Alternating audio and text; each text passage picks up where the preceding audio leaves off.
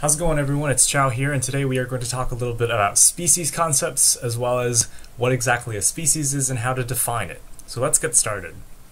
Okay, so the first way of defining species concept, there are kind of three main ways to describe it. The first one is the biological species concept and this is the one that most people use, especially in classrooms in high school or middle school. So this is what oftentimes people grow up learning is a species. And the biological species concept is just simply stating groups of actually or potentially interbreeding populations that are cooper- or that are reproductively isolated from other groups. So there's a focus in this case on gene flow as well as reproductive isolation. The benefit of this particular concept is that it's looking at evolutionary independence. So groups can no longer exchange uh, genes between different populations. That's a key factor in divergence. So if you if you have a gene in one population that can't get into the system of another population over here, then that means that those two populations can ultimately diverge and become reproductively isolated, which is what really the biological species concept is. So you have focus on gene flow as well as reproductive isolation. So there's a key factor of sexually reproductive organisms going through these processes that ultimately prevent gene flow from one population to another, which results in species of uh, one species and then another species in another place.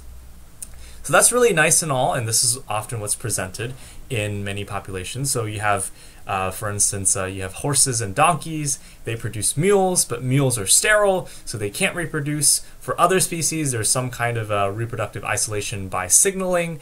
So these biological species concept prevent gene flow and also push for reproductive isolation.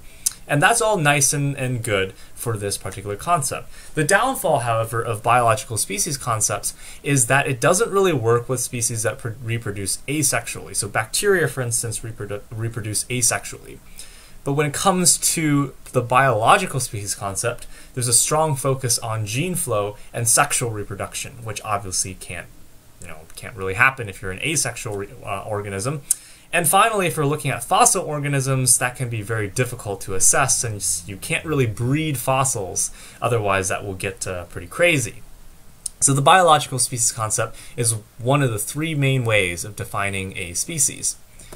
The second way is a morphospecies concept, and this one I think makes the most general sense. It's looking at morphology, uh, plumage patterns, the shape, the size.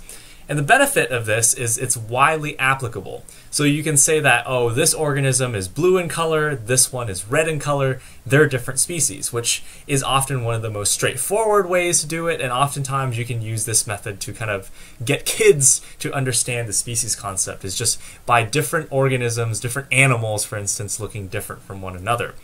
The, diff- the, the sort of difficult issue with this particular concept, the morphospecies concept, is that it's highly subjective. So you have instances where sometimes one species might be considered one species and another might be considered a different species just simply by plumage patterns, but in reality they might actually be the same species and can uh, interbreed and reproduce and, and make a viable offspring. So the question, of course, is is what's an instance where the morphospecies concept could be very useful then, since it seems very subjective. You know, you have a blue-colored bird and a red-colored bird. What happens if they're just regional variations? What happens if it's just sexual dimorphism? The male is red, the female is blue, something like that. So, are there instances where morphospecies concepts could be very useful? And the answer is yes. For example, one of the great ones is actually fossils. So you can't breed fossils and you can't take genetics from fossils. Obviously, the best thing you can do is to look at how they're different from one another.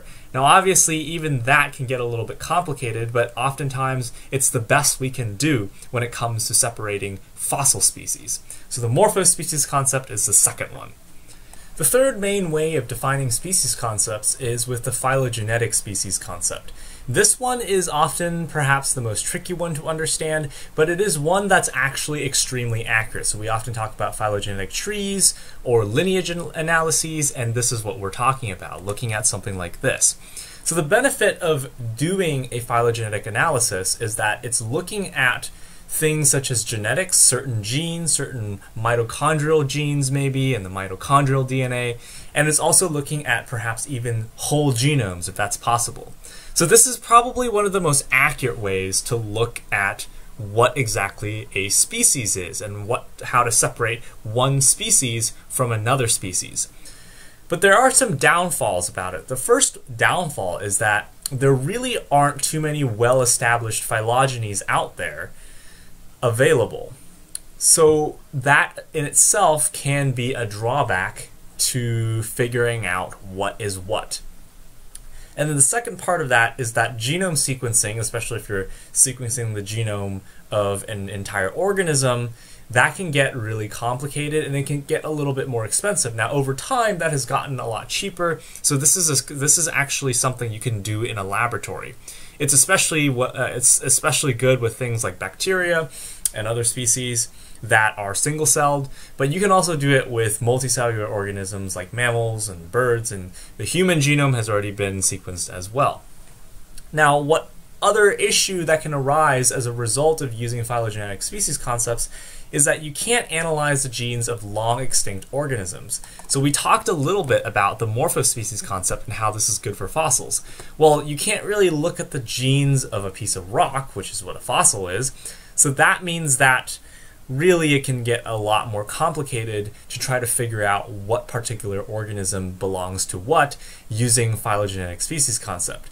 So it's funny because there are some organisms that are extinct kind of recently. So if you're talking about like um, I think the the Tasmanian tiger, as they call it, or the thylacine is what, what it's actually known as.